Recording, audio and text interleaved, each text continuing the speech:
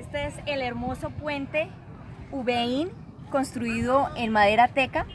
Tiene 1200 metros de largo y fue construido hace 170 años.